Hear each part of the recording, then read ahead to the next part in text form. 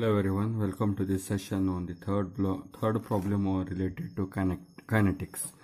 So here in this particular problem, it is a block which has been placed on the horizontal surface and the mass of the block has been specified. So we shall read out the statement of the problem before proceeding to the solution. So problem statement of the problem says is it's 90 kg block rests on a horizontal plane. So this is a 90 kg block resting on the horizontal plane find the magnitude of the force P. So we are supposed to find out the magnitude of force P and to give an acceleration of 3 meter per second square. So acceleration value has been fixed up. So the magnitude of the force P needs to be decided in such a way that acceleration value should come out to 3 meter per second square. And, and it moves towards the right hand side. That is direction of impending motion is towards the right hand side. DIM means direction of impending motion. It is towards the right hand side. Coefficient of friction between the block and the plane is uh, mu of k. Mu of k means it is kinetic friction. Coefficient of kinetic friction is 0.25 and we are supposed to find out the magnitude of the force P in such a way that it should create an acceleration of 3 meter per second square.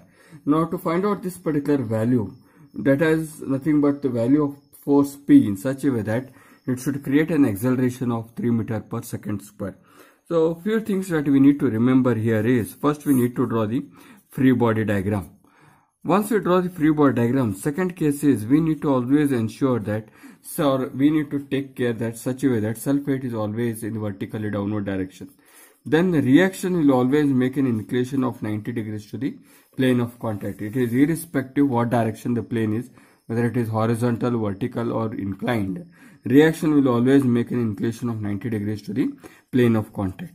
Frictional force will be always opposite to the moment of the body frictional force will be always opposite to the moment of the body. If the body moves towards the right hand side, frictional force will be towards the left hand side. Same condition, if the body has the movement towards the left hand side, frictional force will be towards the right hand side. It is irrespective whether the body is subjected to a form of acceleration or retardation. It is independent.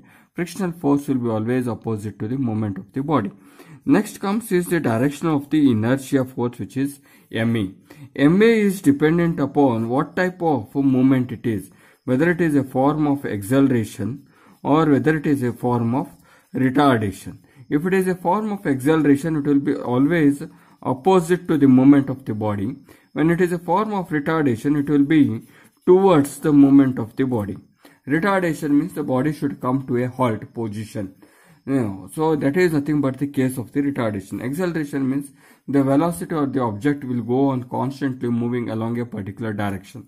During that particular condition, it will be in the case of opposite direction and this will be in the case of retardation. In my earlier two sessions, the both the problems are related to retardation, wherein the initial velocity would have been subjected and the body would come to a halt position. So for that reason, both the cases have been considered as a case of retardation. In that particular condition, if we happen to observe, MA was to be given along the direction of the movement of the object. Now in this particular case, here the object is been subjected to force P and direction of impending motion is towards the right hand side. Now here this force P is constantly been applied on this particular block of mass 90 kg. So when it has been constantly been applied on this particular mass of 90 kg, it induces an acceleration of 3 meter per second square. So which indicates this acceleration, this acceleration is nothing but a case of an acceleration is but what we are going to consider it as a positive 3.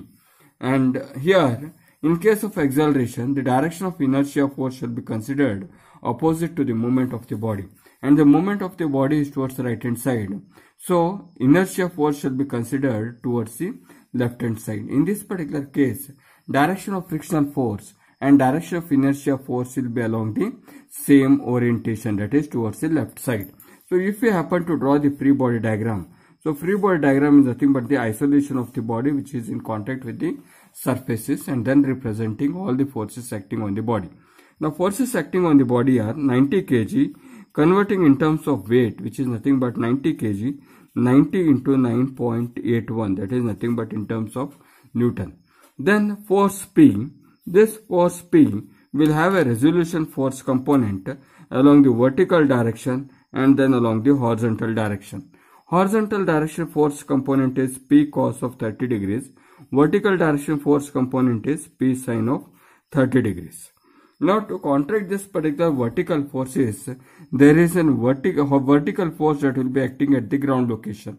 And this vertical force is called as a normal reaction which will make an inclination of 90 degrees to the plane of contact. So, so we have ensured, we have considered free body diagram after suppression. Self weight is vertically downward. Normal reaction is perpendicular to the plane of contact. Then frictional force will be opposite to the moment of the body. Now as the force been applied on towards the right hand side, that means the body will tend to have a direction of impending motion towards the right hand side. As a resultant, frictional force will be left hand side and this frictional force will be mu times of n which is frictional force is equal to 0.25 times of n. So this is nothing but 0.25 times of n. Apart from this, we also need to show the inertia force. Now as stated earlier, as the body constantly moves towards the right hand side and it is a case of an acceleration, inertia force will be opposite to the movement of the body. So this is direction of the inertia force. So here m shall be considered in terms of kg which is nothing but m is mass, m is mass which should be considered in terms of kg and that is nothing but 90 a. So this is nothing but the value of the inertia force. Now to find out all this particular force component, we need to make use of equations of equilibrium. So we need to take summation Fy is equal to 0. If summation Fy is to be considered as 0, we need to follow the direction of the forces. All upward forces positive, all downward forces negative, all right hand side force positive, all left hand side force to be negative. Now if we happen to consider here 90 into 9.81 is downward. So minus 90 into 9.81 downward because since it is downward it is negative. Likewise p sine 30 is downward. So minus p sine 30. Then plus of n that is equal to 0. So reframing this equation, this will be minus p sine 30, keep it as it is, plus of n. This term when it goes on the right hand side, it will be positive, which will be 90 into 9.81. So equation number 1, keep it as it is. As p and n both are unknown, so we shall keep this equation as it is. Next you consider summation fx is equal to 0. If we consider summation fx is equal to 0, all right hand side force positive, all left hand side force to be negative. Refer back to this particular diagram now. This is a force parallel to y direction and it also has a force parallel to x direction which is on the right hand side and right hand side force component is positive p cos of 30 degrees. Its force component is p cos of 30 degrees. Frictional force is on left hand side minus f of f. Inertia force is on left hand side minus of ma that is equal to 0. Substitute the term P is unknown, keep it as it is. Frictional force value is mu times of N minus of M value is 90, 90A that is equal to 0. So P cos of 30 keep it as it is. Mu value is 0.25, mu value is 0.25 minus of 0.25 times of N minus of 90 into A value is, acceleration value is 3 meter per second square and this 3 meter per second square shall be considered as positive because it's a case of an acceleration. If it had to be a case of retardation, this value had to be considered to be negative. So it shall be considered as into 3 plus of 3. So reframing this equation, P cos of 30 as it is minus 0.25 times of n, that is the second term. This minus when it goes on right hand side it will be positive 19 to 3 either you can write it as 270 directly or else 90 to 3 as it is. This is equation number 2 now we shall try to solve 1 into solving 1 and 2 if we happen to solve 1 and 2 as a simultaneous equation here go to mode equation which is 5 and 2 unknowns. First one is sine of 30 which is minus sine of 30 minus sine of 30 next one is 1 coefficient of n is 1 coefficient of n is minus sine of 30 coefficient of n is 1 next term is 900 into 9.81 900 mm, so 90 into 9.81 90 is nothing but the mass of the object mass of the object is 90 so 90 into 9.81 next term is the second term which is cos of 30 next is minus 0.25 minus 0.25 then the last term is 90 into 3 so whose value p value shall come out to? X means p which is